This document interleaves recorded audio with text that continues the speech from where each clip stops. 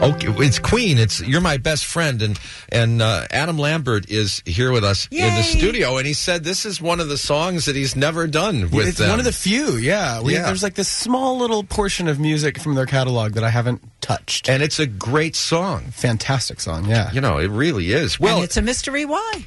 I don't You know. don't I have to ask them now. I just realized that. It's something to ask them. but welcome to town. Thank you. It's good to see you here. Good morning. Uh, you know, you have. Uh, I think it's accurate to describe you in in this manner because I was talking to some people the other day about you specifically, and even though you weren't officially proclaimed as such, you in fact won American Idol. Oh. I, I feel like I, I won something great. I mean, look at me. I'm on going to be on tour with Queen now. I Yeah, mean, there's no- I one But- many things that but- I'm very thankful for. But yeah. you won because because In through life. through the exposure on that show, an audience just fell in love with your talent and your personality, and I mean, Aw. it's just you know you you just you came out of that experience a real winner. Yeah, I'm, I'm really thankful for it. I had a great time, and I, that's all I wanted from the show. I was like, you know, I hope this throws the door open somewhere and gives me a, a shot at something. So Mm-hmm. I, it did just that. I'm very thankful. Well, when you were in, uh, did your house have a basement? When I grew up, no, I was a Southern Californian, so, oh, so no we don't basement. have basements. No, So, so you know, kids here would go down in the basement and they would pretend that they're, uh, you know, big stars, and they would sing or play I had a lot of bedroom moments like themselves. so that. you yeah. did it in your bedroom. Okay, so when you were imagining, when you were just a kid, when you were just pretending, who were you pretending to be? Who were you emulating? There's a lot of Michael Jackson early on. If I, I think there's some video of me somewhere with you know, a, like my dad's jacket on, big shoulder pads, and a hat, trying to do the choreography poorly. yeah, there was a lot of Michael Jackson, and and and at one point Elvis. My my grandmother had bought me a. Uh, like an Elvis karaoke tape, Mm-hmm. and so I was like learning how to sing like Elvis, and then But so the did you king, do the so the king of rock and roll. I tried. So the king of rock and roll and the king of pop, you know, there's, and, there's, and and both known for their movement as Sure. well as their music.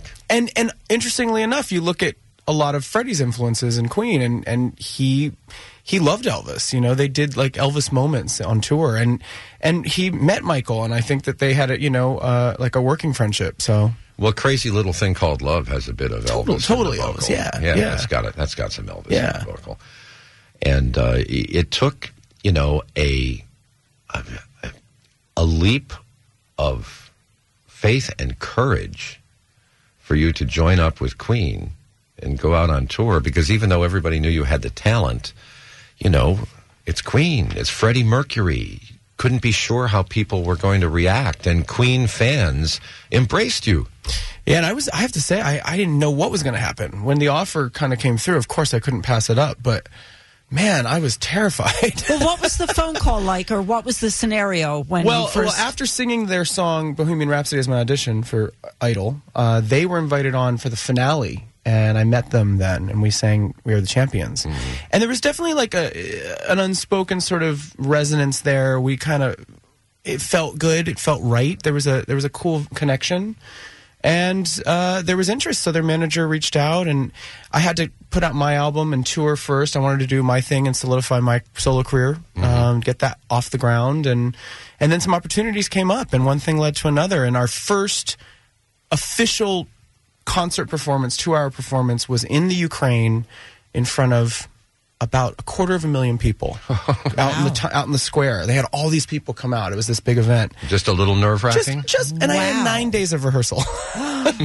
and you know, I know they're big hits, but I, I wasn't as familiar with some of the more obscure B side stuff. So it was a lot of it was a lot of material.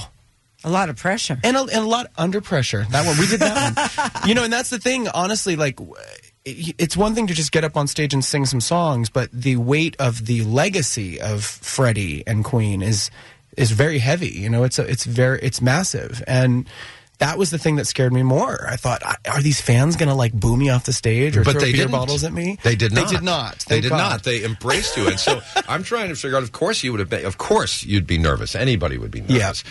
But when you started to feel the audience reaction, and you know that kind of warm embrace, that you received that made the tour so successful, which is why you're doing another one.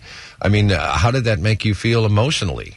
It was a big payoff. I mean, a, a, a, combination of relief. I definitely felt like, okay, cool. Okay, after the first handful of shows, when I realized this was all going well, was fantastic. And I also, you know, I felt honored. I felt like, wow, you know, not only are these fans embracing this experience, but Brian and Roger have been unbelievable. They've been so collaborative. They've given me a lot of freedom. They've been so supportive, and and and that was another thing that I, I didn't know how it was going to pan out. I, I I thought, okay, they're asking me to do this, but are they going to like be cool with how I do it, or you know? And I also thought to myself, look, I can go into this, and because they are who they are, I'm cool with them just telling me exactly how to sing every song if that's how they want to do it. And to my delight, they were like, well, whatever you'd want to do. What do you want to do with it? Well, and you know, you talk about working with Brian. You're working with one of the smartest people on the entire planet yeah, Earth. Agreed. Really. You know, uh, I mean, as an academic. And on top of that, there's that small little thing about how he's a knight of the realm. Yeah, it's serious business. Yes, yes. No. I think he has a planet somewhere. You know, so do you Yeah. call him sir? Uh, all the time. Sometimes. Yeah, yeah. Doctor. Yeah. which, Which does he Which takes prefer? precedent? Well, there's also professor. Yeah. There's professor. Well, There's- Chancellor. There's chancellor, as well. There's doctor, professor, Yeah. chancellor, and sir Mm-hmm. are all titles that Brian has earned.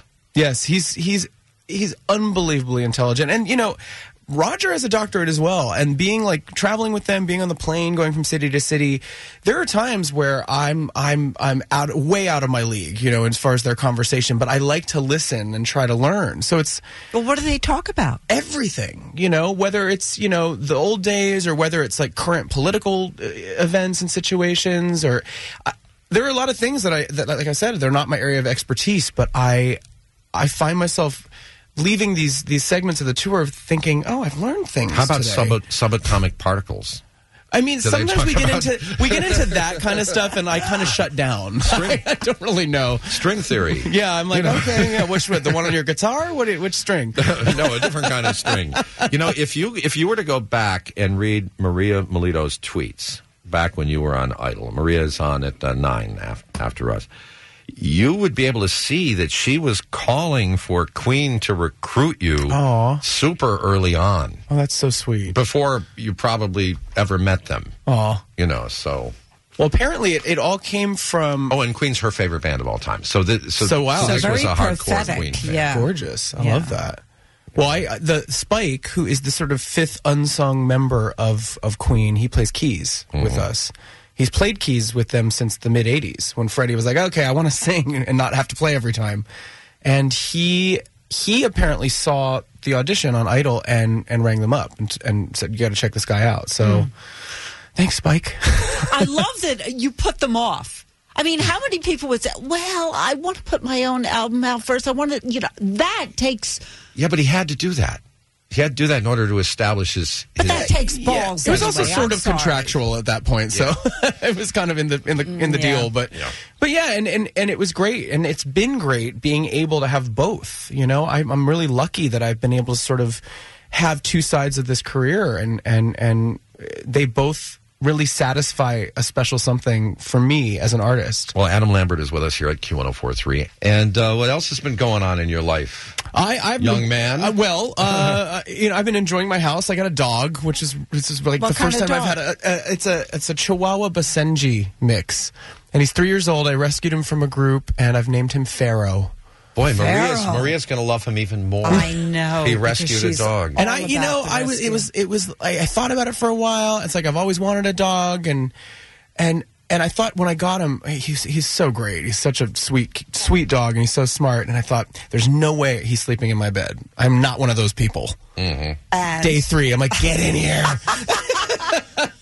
and I've been working on um, um, solo material as well. and Um, when can we expect uh, to hear some more of that? I mean, you've already sold millions of albums and singles. I mean, he really has his solo career. I mean, that, you know, you you hear those in some other stations down the hall, not here. We're the classic rock station, but let's be let's be honest. We're talking about a very successful career so far. Things are good, yeah. I, I actually don't know when I'm going to put it out yet. Uh, I haven't decided. Um, I'm still working on things, still conceptualizing things, but I definitely have some music that I'm really excited about. And you're a young guy. You love classic rock. I love it. Yeah, I mean, I read this uh, new Musical Express thing about your love for Zeppelin. I love, I love Led Zeppelin.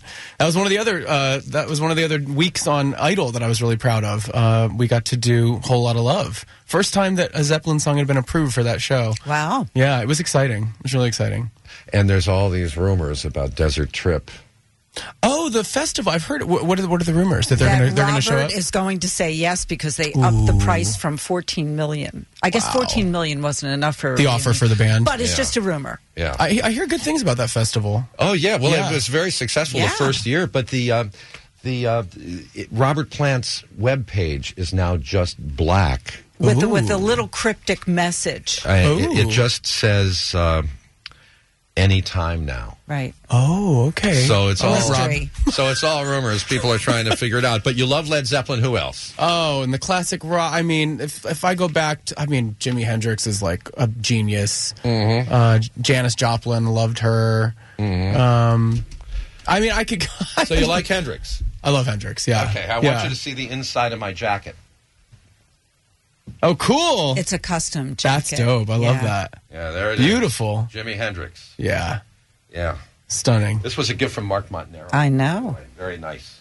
Yeah, I grew, I grew up in a house where you know my, my dad had a lot of vinyl, and I heard a lot of great music. So you know, I think I got a good education as far as the classics. Mm-hmm. Well, it's always our pleasure to welcome you here whenever you're in town. I- Always. I, hope you had a good time. I know you saw a Broadway show, and Yep. uh, I saw the- some friends, and you know, I had a good time. It was a good trip. All right. short and sweet. Well, you'll be back in July. Queen plus Adam Lambert at Prudential Center July 26th and Barclays Center on July 28th. Good luck to you, and thanks for spending time with Thank us. Thanks, guys. We do appreciate it. New York's classic rock. Q1043.